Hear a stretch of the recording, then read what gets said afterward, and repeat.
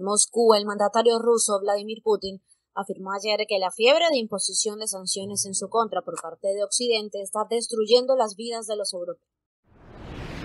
Los Ángeles, una fuerte ola de calor golpea la costa oeste de los Estados Unidos, llevando a la capital del estado de California, Sacramento, a alcanzar su récord de temperatura de 116 grados Fahrenheit el martes de esta semana.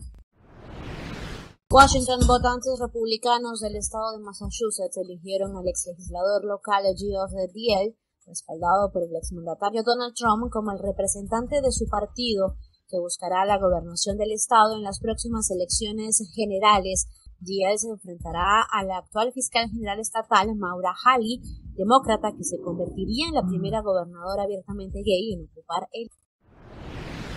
Washington, el gobierno de los Estados Unidos anunció que las autoridades sanitarias del país se están moviendo hacia la decisión de administrar de manera anual vacunas contra el COVID-19 para toda la población.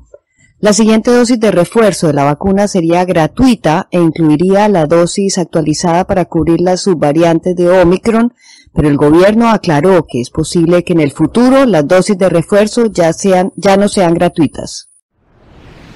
Moscú, de acuerdo con medios oficialistas, la próxima semana se dará la primera reunión presencial entre los mandatarios de China, Xi Jinping, y el de Rusia, Vladimir Putin, desde la invasión rusa de Ucrania en febrero de este año, señalando el mantenimiento de sus relaciones estratégicas en medio de las crisis respectivas de Ucrania y Taiwán.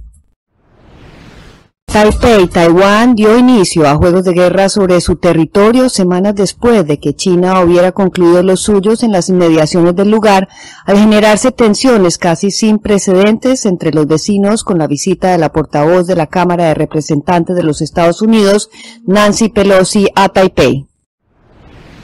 Londres, la primera ministra británica Liz Truss seleccionó un gabinete en el que por primera vez en la historia un hombre blanco no ocupará una de las cuatro posiciones ministeriales de mayor relevancia.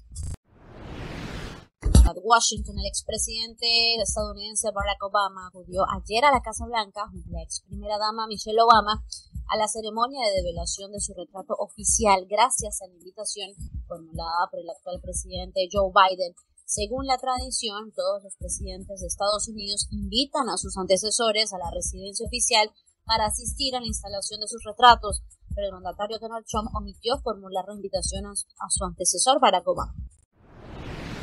Pekín, las exportaciones e importaciones de China perdieron nuevo impulso durante el pasado mes de agosto con el crecimiento real muy por debajo del pronosticado a causa de la creciente inflación y nuevas medidas restrictivas de cuarentena en el país debido a incrementos de casos de contagio de COVID-19. En el momento, cerca de 60 millones de residentes del territorio se encuentran bajo cuarentena absoluta y se registran incrementos de casos en casi todas las provincias del país.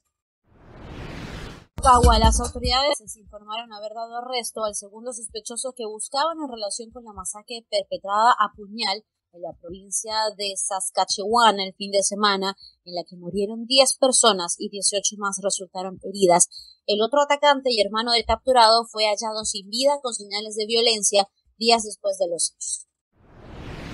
Ginebra, un nuevo estudio reveló que cerca de 8 millones de niños perdieron a un padre o un proveedor de cuidado a causa de la pandemia del coronavirus a nivel global. Nueva York, la gobernadora del estado de Nueva York, Katie Hochul, puso fin a la obligación de utilizar tapabocas obligatoriamente en el sistema de transporte masivo.